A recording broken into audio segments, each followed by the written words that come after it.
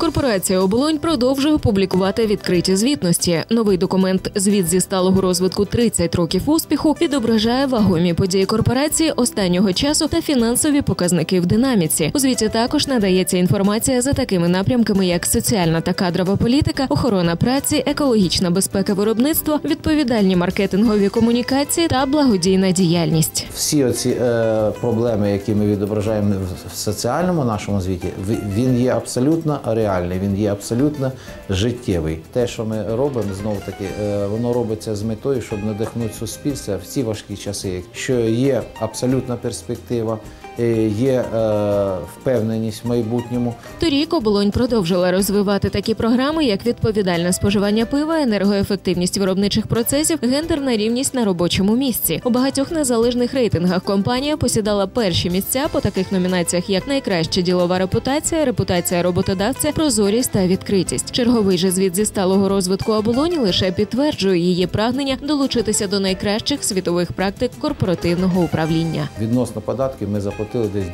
991 мільйон приблизно так податків у 2010 році.